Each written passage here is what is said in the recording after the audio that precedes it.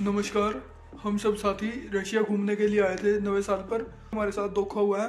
उन्होंने हमें आर्मी में भर्ती कर लिया है। ट्रेनिंग देने के बाद हमें यहाँ पर यूक्रेन छोड़ दिया गया। यूक्रेन हमारे साथ, हमारे जो साथी थे, उनको ना फ्रंट लाइन पर डाल दिया गया है। मोटी सैलरी और चमचमाती लाइफस्टाइल वाली नौकरी। हम सभी इस चीज़ की उम्मीद रखते हैं। और इसी उम्मीद में कई भारतीय विदेश जाने का ख्वाब देखते हैं और इसी ख्वाब को सच करने का लालच देकर धोखे से कई भारतीयों को रूस यूक्रेन की जानलेवा जंग में शामिल कराया जा रहा है।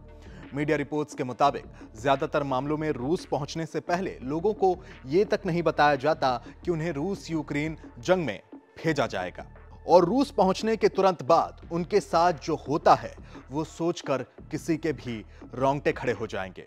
तो तसल्ली से बैठिए, क्योंकि आज इंडिया टीवी एक्सप्लेनर में रूस यूक्रेन जंग में भारतीयों के तस्करी की पूरी हॉरर स्टोरी आपको बताएँगे।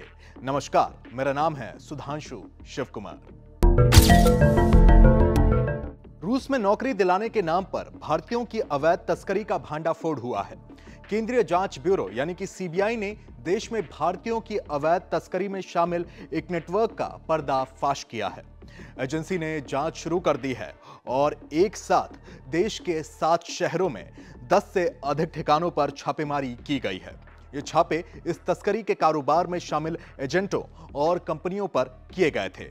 जिन शहरों में छापेमारी हुई है, उनमें दिल्ली, मुंबई, चेन्नई, तिरुवनंतपुरम, अंबाला, चंडीगढ़ और मदुरई शामिल हैं। रूस में नौकरी दिलाने के नाम पर धोखे से भारतीयों को रूस यूक्रेन की जंग में ढकेला जा रहा है।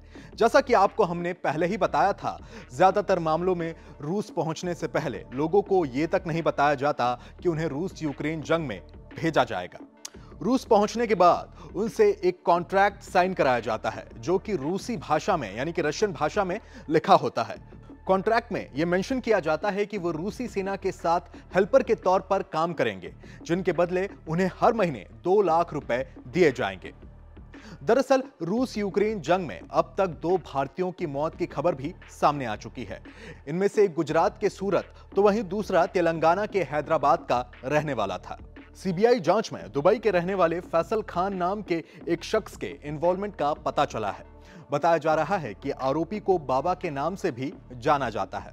फैसल खान बाबा ब्लॉग्स नाम से एक यूट्यूब चैनल भी चलाता है। आपको बता दें कि एक्शन तब हो रहा है जब यूक्रेन युद्ध में लड़ने के लिए पहला फुसलाकर ले जाए गए हैदराबाद के एक व्यक्ति की रूस में दुखद मौत हो गई है। इसके अतिरिक्त पंजाब और हरियाणा के सात लोग जो शुरू में पर्यटकों के रूप में, यानी कि टूरिस्ट के रूप में रूस गए थे, उन्हें धोखे से यूक्रेन जंग में हिस्सा लेने के लिए भेज दिया गया था। खैर, इस यूट्यूबर समेत कई फर्मों के खिलाफ मामला दर्ज कर लिया गया है और सीबीआई इन पर तगड़ा एक्शन ले रही है। वैसे इस पूरे मामले पर आपका क्या सोचना है? आप हमें कमेंट बॉक्स में कमेंट कर ज़रूर बताएँ और बने रहें इंडिया टीवी के साथ।